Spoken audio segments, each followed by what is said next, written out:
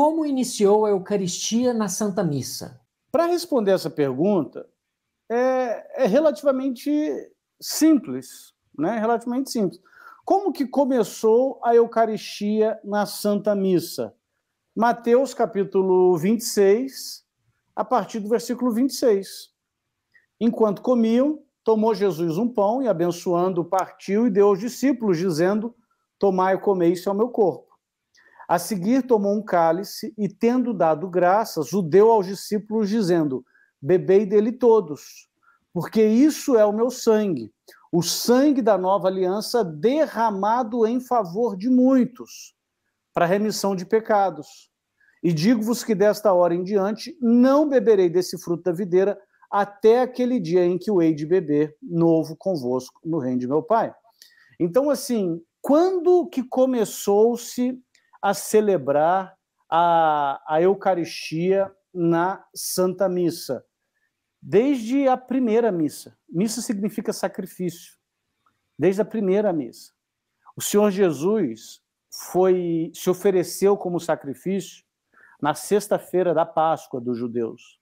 Só que na quinta-feira, ou seja, na, na véspera, na quinta-feira à noite, celebrando a Páscoa, ele diz o seguinte: este é o sangue da nova aliança derramado em favor de muitos. Ora, o sangue não tinha sido derramado ainda. O sangue só seria derramado na sexta-feira. Ele está falando isso na quinta. Então, por que, que ele diz o sangue derramado? Porque a refeição e o Calvário estão intimamente ligados. A, a, a Sagrada Eucaristia, aquela refeição que acontece no cenáculo, só faz sentido em conexão com aquele sacrifício que acontece no Calvário. O Calvário aponta para a refeição e a refeição aponta para o Calvário. Então, desde aquele momento, se celebra a Eucaristia na Santa Missa. Agora, a gente pode ir um pouquinho mais para frente, em Atos, capítulo 2, quando São Lucas que é o, o autor de Atos, ele descreve a vida dos primeiros discípulos, os primeiros convertidos, que eram aqueles 3 mil que tinham se convertido na pregação de São Pedro, em Atos 2. Eu estou aqui em Atos 2, versículo 42. E perseveravam, né? Quem que perseveravam aqui? Eram os primeiros discípulos. E perseveravam na doutrina dos apóstolos, na comunhão, no partir do pão e nas orações. Ou seja, logo na igreja nascente se perseverava no partir do pão. No partir do pão. E eu posso ir mais um pouquinho à frente ainda, que é 1 Coríntios capítulo 11, e esse texto de 1 Coríntios capítulo 11, Márcia, ele é importantíssimo porque ele é o primeiro registro acerca da Eucaristia. O primeiro registro acerca da Eucaristia.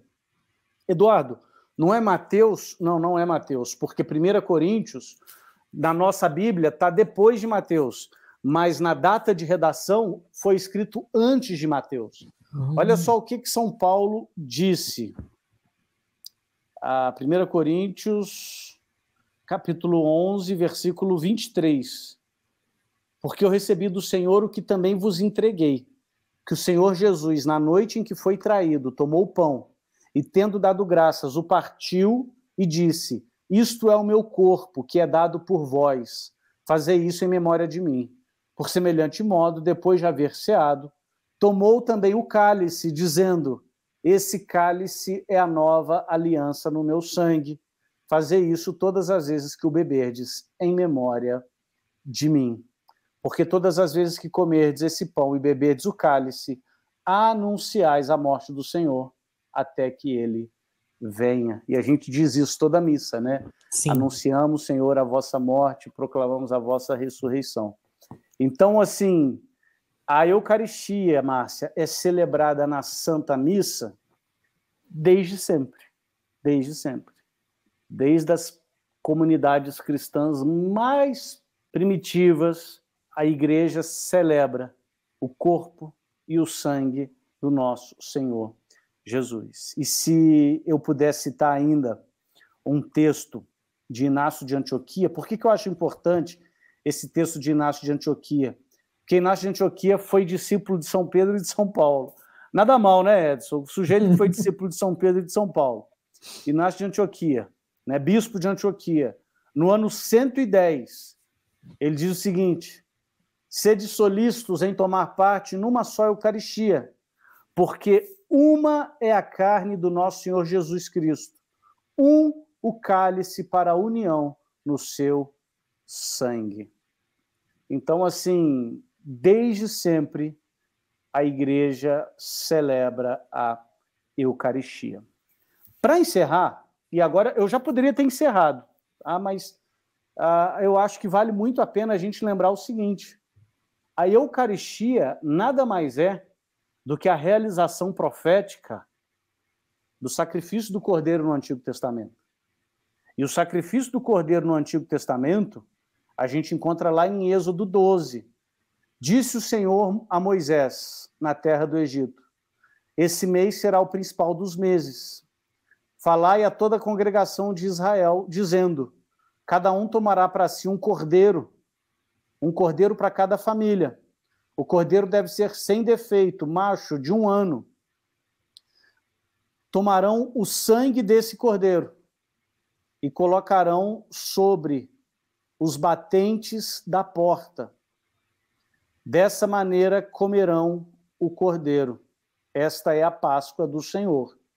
E naquela noite eu passarei pela terra do Egito e ferirei a terra do Egito nos seus primogênitos o sangue será o sinal nas casas. Quando eu vir o sangue, passarei por vós, e não haverá praga destruidora.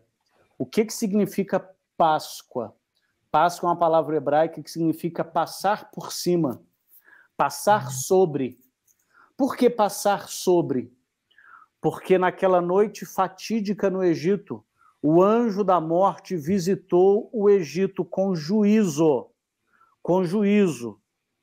E esse juízo era matar todos os primogênitos do Egito, porque o, o faraó foi cruel e roubou o primogênito de Deus. Deus fala: você, escra... você matou meu primogênito, eu vou matar o seu primogênito. E isso não é porque Deus é malvado, não, muito pelo contrário. Deus foi muito misericordioso, dando ao faraó muitas e muitas oportunidades dele se arrepender. O faraó não quis. Então, numa medida drástica para mostrar o seu juízo e a sua libertação, o anjo da morte visita o Egito. E visita o Egito, mas pra, para que os primogênitos não morressem, eles tinham que os israelitas tinham que colocar o sangue do cordeiro sobre as portas de suas casas. Naquela noite fatídica do Egito, em cada casa tinha ou um primogênito morto, ou um cordeiro morto. O cordeiro substitutivo hum. morreu no lugar dos primogênitos.